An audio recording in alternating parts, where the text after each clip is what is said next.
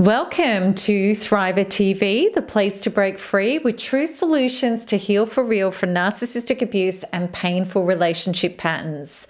More than just information to survive, you are granted the tools to thrive. In today's episode, I want to share with you my top three tips for recovering from narcissistic abuse, where we're going to take a deep dive into why acceptance, which is initially so painful, is vital. Number two is release the need to know and seek the emotional feeling journey rather than the head journey. And number three, how to claim the magnificence of your healing development and emergence as your true self. Okay, so before we get started in this deep dive, I want you to remember to hit the subscribe button if you haven't already and like this video if it resonates with you. All right, let's get going on this. So the first point that I want to talk about, the first of my tips, it's it's the beginning, is the acceptance of what has happened to you. You might know that expression, the truth sets you free. It's so important. If you're in denial or if you're in resistance to the truth, that just delays your healing journey and can actually stunt it indefinitely. You may never heal unless you accept the truth. Because this is the thing. You know, if we don't accept the truth and start evolving and healing into a truthful, authentic being, you're going to be in resistance to the truth. And what happens is, whatever you're not accepting in your life is going to keep smashing you to get your attention, to crack you open into the acceptance of the truth. And I love the understanding that pain is inevitable. You're not going to escape the pain and the trauma, but suffering is optional. And unless you accept the truth, you're going to be in suffering because eventually you have to come home to the maker. You have to come home to the truth. And none of us want to be doing that on our deathbed because then you never get to truly live. You want to be doing that as soon as you can. And of course, it's agonizing to, to, to start off with, to accept the truth. You don't want to accept that this person didn't really love you, that they were dishonest, that they betrayed you, that they didn't have your best interests at heart, and that really you were a commodity. You were an item to them. You're an object for them to get energy and stuff from, and it wasn't real love.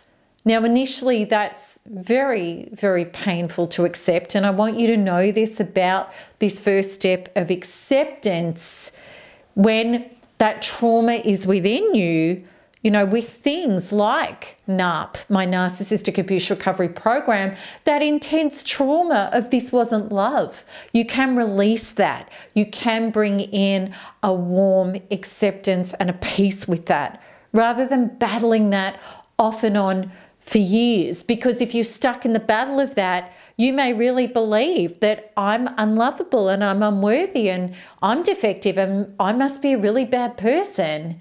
And you know, that's going to keep you stuck in the illusion that you're only as lovable and as worthy as how somebody else is treating you.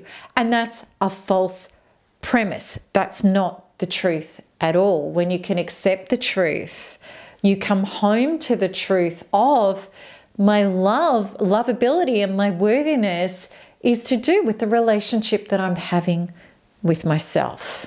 That's the foundation of everything. Which leads us then to my second point, which is so important from your healing once you get to accept the truth. You move on to letting go of the need to know all about the narcissist yes, absolutely, initially learning about narcissism, what they do and why they do it is really helpful.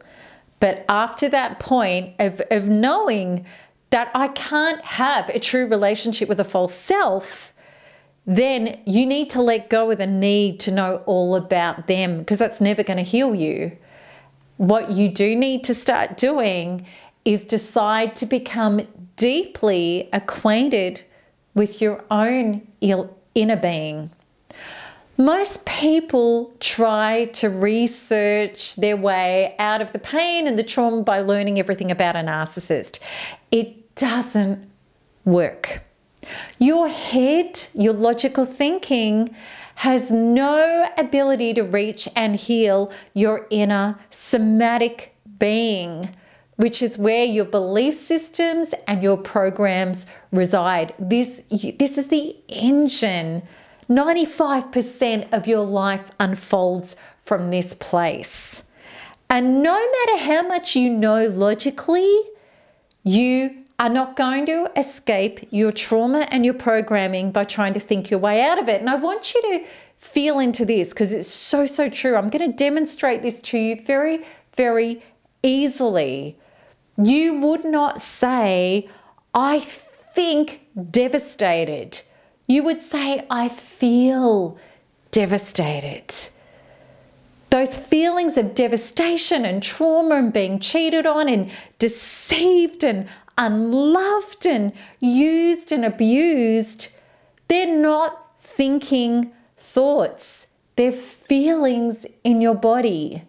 You have to come within to meet those feelings, those programs, those trauma, that literal dense energy that is destroying you and hurting you, you have to meet it in your body.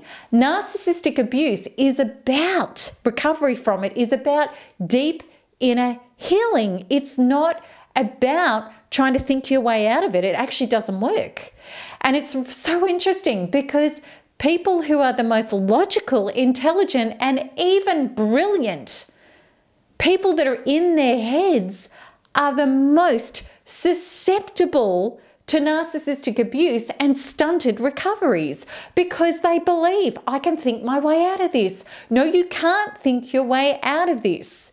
You cannot think your way out of deep emotional trauma. This isn't a logical deal. This is an emotional healing deal. And that was huge for me to accept back then. It wasn't until I got completely broken that I finally accepted that. And you don't have to get as broken as what I was. So the truth is, you have to turn inwards and you have to feel and be with and self partner with your trauma to heal your way through it. Okay, so the third tip I want to give you is again so important. It's about accepting and making this happen for a reason as your mission.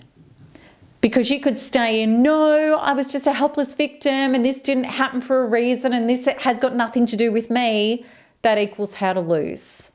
It means that it's not possible for you to do a recovery. I understand why you want to think that and stay there because I was there for years as well. But I'm just going to be straight with you. You cannot recover from that place because you have to turn this around. And what you have to do is not, you have to go from this is about what happened to me. You have to make the switch, which is out there. This is what happened to me, to turn inwards to say and ask yourself and do your development at the level of why did this happen to me? And this happened for the ultimate purpose of offering you the opportunity to clean up faulty programming, already existing trauma, where you had energy gaps, where you were handing, handing your power away, to ascend and go forth onto the trajectories that you really want to live. And if you embrace this journey with all of your heart, you can understand the difference between being disconnected from self and not self partnering to what happens when you do connect to self, you start self partnering and you start releasing trauma and bringing in healthy, powerful programs instead of the dysfunctional, painful ones, which is exactly the process that NARP does in your body simply by following the instructions. And what you're going to start experiencing very, very quickly is that your boundaries will come online. You will start respecting and honoring yourself. You will start speaking up. You will start trusting your inner being when something feels wrong. And that whole neediness and dependency starts to fall away. So rather than talking yourself out of those intuitive feelings, oh, something's not right, I don't know if that's good for me, oh, it'll be okay anyway, because you think that's the only way you can get love, approval, survival, or security, even if that's deeply unconscious. When you start releasing trauma and bringing in self and true empowerment, you are a source of love, approval, survival, and security, which means that if something becomes or somebody becomes unwholesome or, or abusive in your life, you can say, no, thank you, not my reality. And there's more than, there's more to come in my life than that. There's more of the love, approval, survival, and security that I'm now generating as well being for myself. And when that starts to happen, your life changes into an exciting, indulgent, because you get to enjoy and you get to feast on life. And it's a beautiful journey of creating the most incredible experiences in your life, which all comes from getting it right with the most important relationship in your life that you can ever have, the foundation of everything, which is the relationship with yourself. So, that is three powerful tips that I really need you to understand for you. And my Narcissistic Abuse Recovery Program, which is known as NARP, is the most powerful and potent way I know of to achieve this. It's a 10 step program where all you have to do is follow the instructions, and there's so much support with it.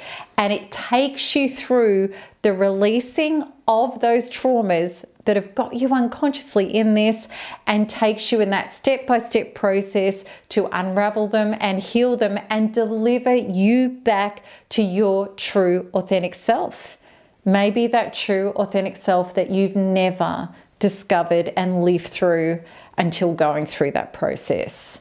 So, to find out more, you can click the link that appears now on this video.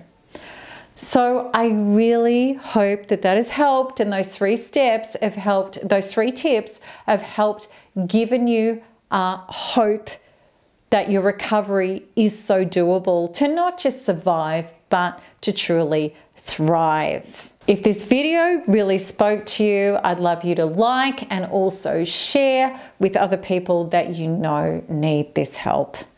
And of course, make sure that you subscribe so you're going to get every one of my episodes notification as soon as I release it.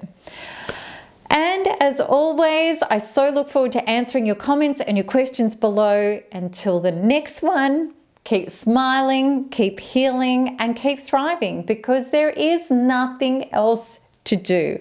Lots of love. Bye bye.